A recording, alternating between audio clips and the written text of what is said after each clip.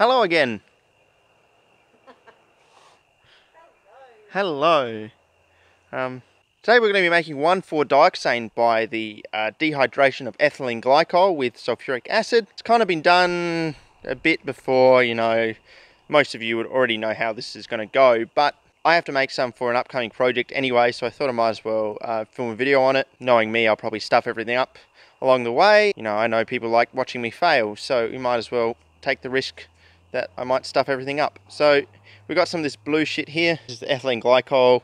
Where does it say? Um, 1,074 grams per litre ethylene glycol. So there's not really any water added to that. This looks like the expensive stuff, which I'm using, but sorry, Dad, it doesn't matter. Well, we're roughly 300 mils in there. That's a one litre flask. I'll add probably, oh, let's say 70 mils of sulfuric acid. That should be fine.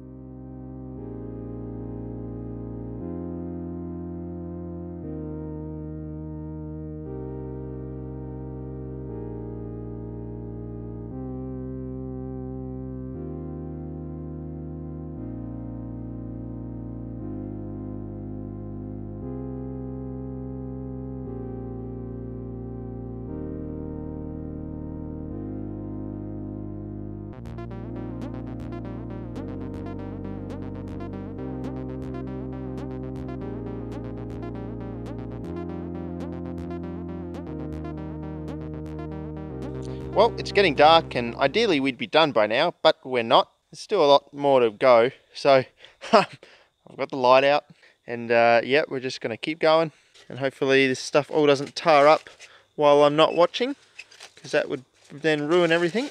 A little while to go. Looks okay still.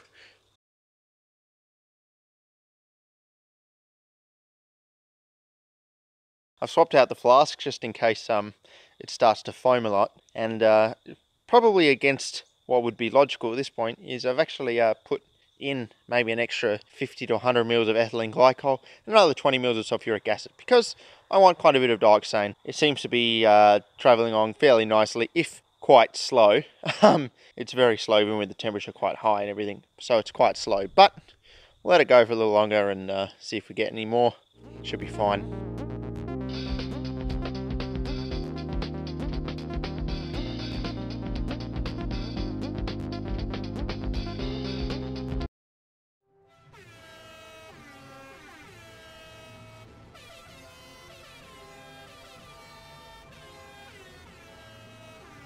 Ah, fuck, I was probably two minutes late. I got here two minutes earlier, I would have saved it, but fucking didn't. Oh well. Always redistill it, maybe. As long as it fucking stops.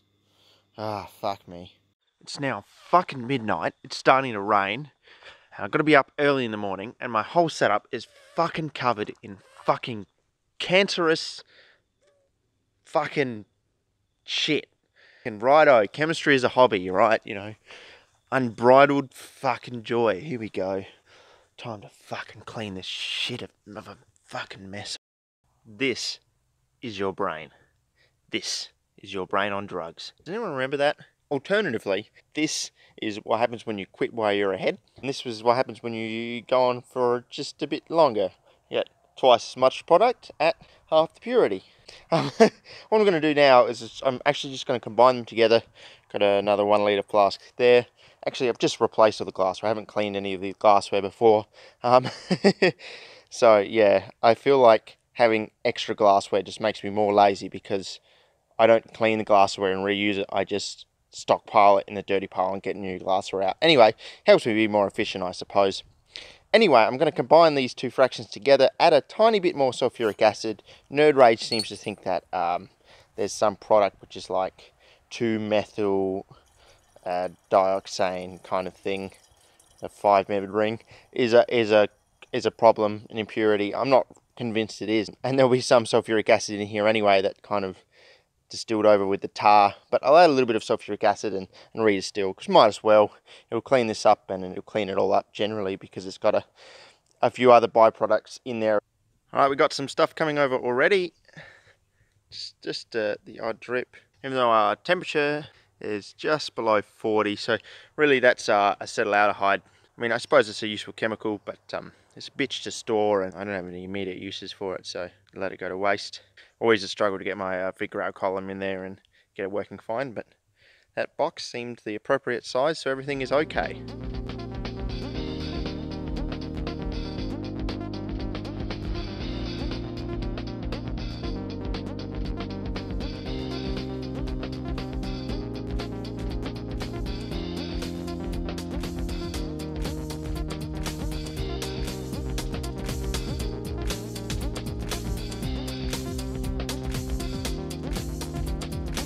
All the acetaldehydes basically come over. It's sat at 40 degrees, but there's not much more coming through the column. So uh, I'm going to actually get rid of this column because with the water bath, it'll take far too long to get through the column because the water bath's only at, you know, 95 odd, 95, 100 degrees. It basically won't come through this column. I don't have any other way of heating a litre very well, seeing as my flat bottom one litre flask is dirty. I could clean it. Oh, well, I just fucking, I'll get rid of the column and then put this uh, um, on there and then just start collecting our dioxane. Easy.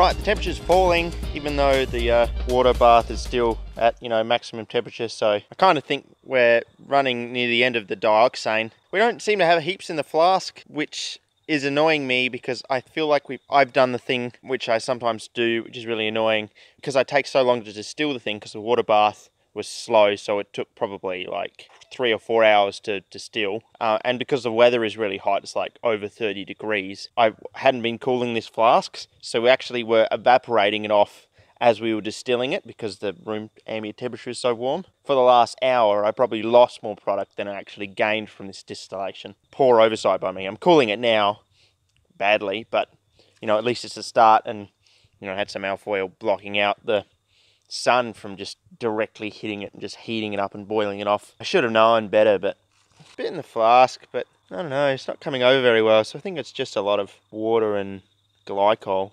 All right, here's the yield of our azeotrope here. You can see there's more in the pot than there is what we got. Which is always disappointing. Uh, it means the leftover stuff is just water and ethylene glycol. I must have distilled over heaps of ethylene glycol.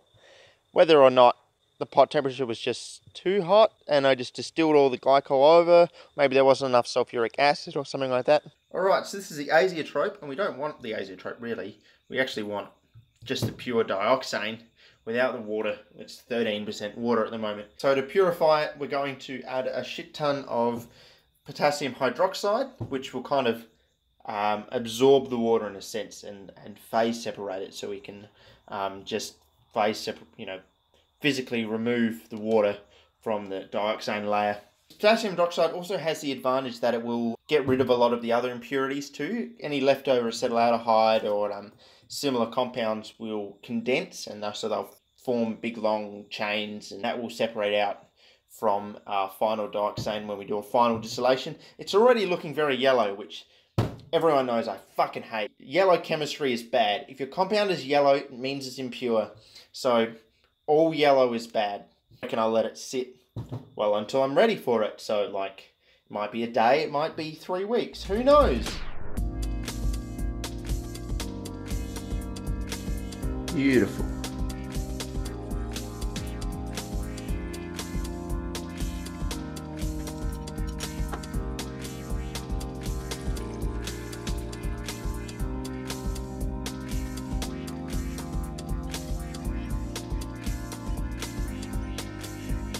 So I was gonna like waste the stuff below 80 and then just collect it like 100, but man, everything's coming over at 80.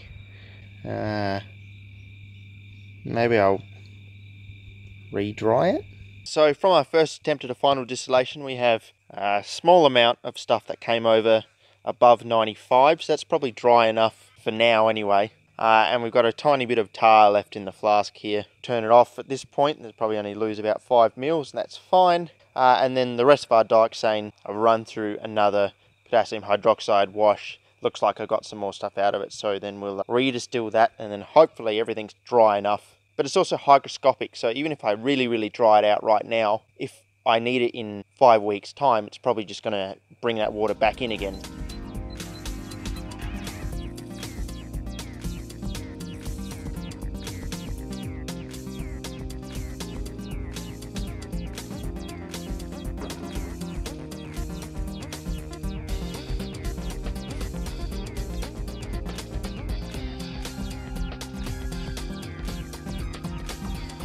Okay, so we're back again at the distillation apparatus.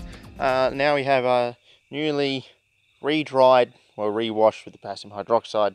And here we're just going to still discard the first little bit that comes over because that should contain most of the water. We've got our mostly dry stuff here. So hopefully this runs smoothly. I don't have a lot of light left, but what's new? This is such a typical Extractions and Ire video. I stuff things up. I run out of daylight every distillation. Ah, when will I learn? When will I get good?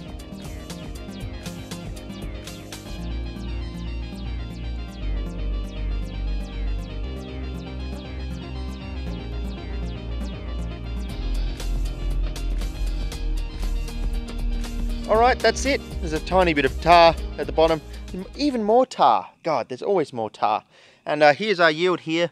And I didn't measure the amount of ethylene glycol I used initially at all, so we can't work out a yield, which is probably a good thing because it looks embarrassingly low, because it looks like we only have, or let's say 150, 120 mils there, and we started with roughly 500 mils of ethylene glycol, so it's a bit of a disappointment. But the important thing is it's not yellow, no yellow in that at all, it's beautifully clear, so um, as long as the chemistry isn't yellow, we, we've done good. What I'm going to do is I'm going to store this over molecular sieves, uh, until we need it later on, in which case we'll probably have to react it with some sodium and uh, redistill it later on. But for now, it's good enough, and um, I have a shit ton of glassware to clean up. They've all got tar on them, so I better get fucking started on that now. Um, thanks for watching.